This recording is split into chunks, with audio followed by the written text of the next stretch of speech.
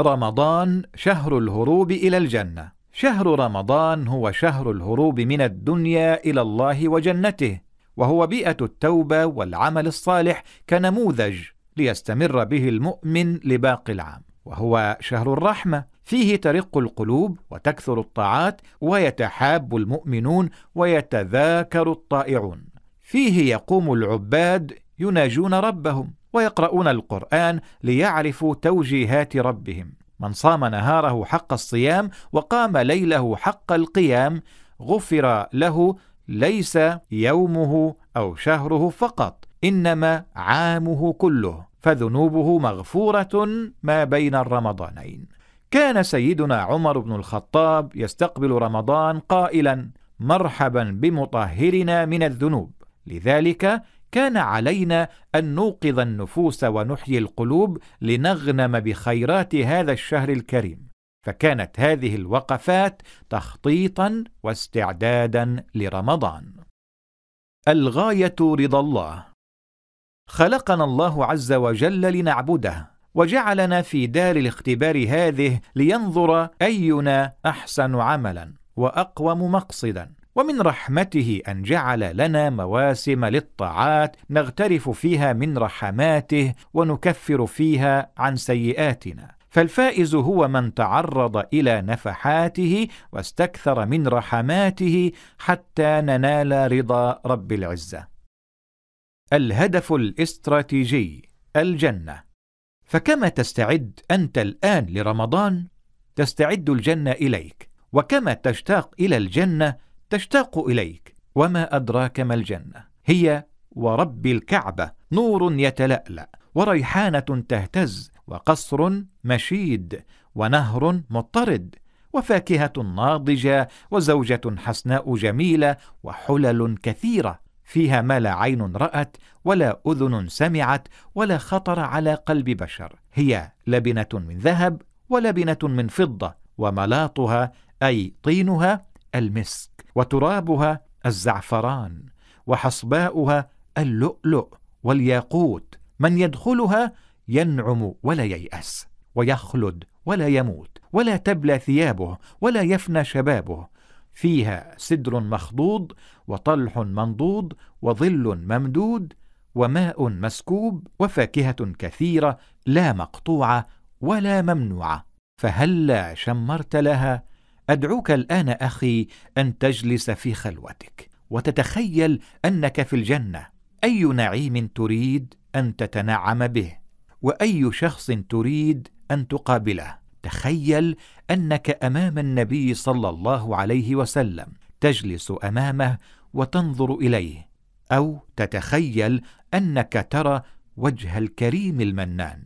فأي نعيم يفوق هذا النعيم؟ وأي جلال نفقده من أيدينا إذا فرطنا في رمضان ولم نفز فيه بالرحمة والمغفرة.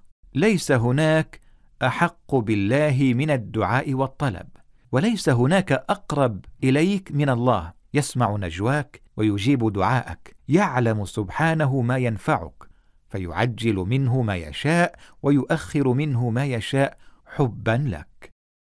الهدف المرحلي التقوى.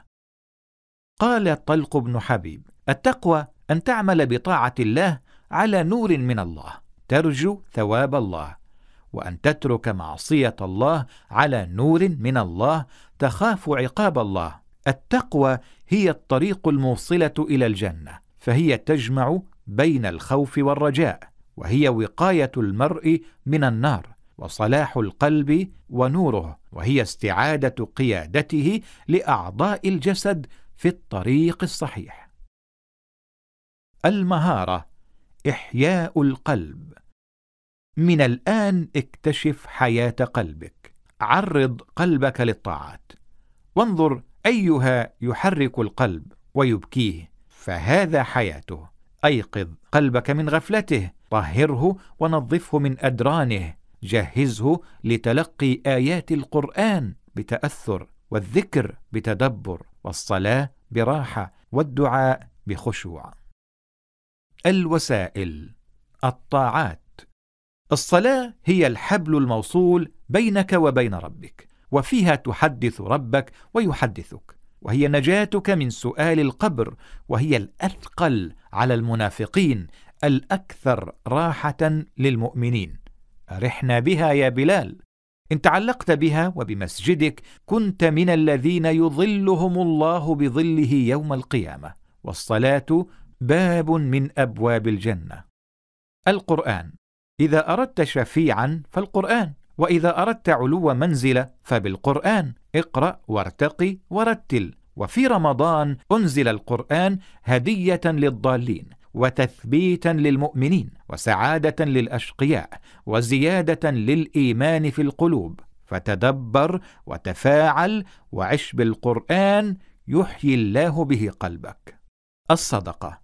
وهي أيضا من أبواب الجنة التي تفتح في رمضان. فإذا تصدقت بإخلاص لله فأنت ممن تلج إلى الجنة من باب الصدقة. وإذا أخفيتها عن أعين الناس بلا من ولا أذى كنت من السبعه الذين يظلهم الله بظله يوم لا ظل إلا ظله. الذكر. يقول ربك في الحديث القدسي أنا جليس من ذكرني. فيا لسعادتك أيها الذاكر لربك بمجالسته وبمباهاته بك وبذكره لك. والذكر من صفات المؤمنين. وهو طمأنينة وهو طمأنينة القلب وغراس الجنة.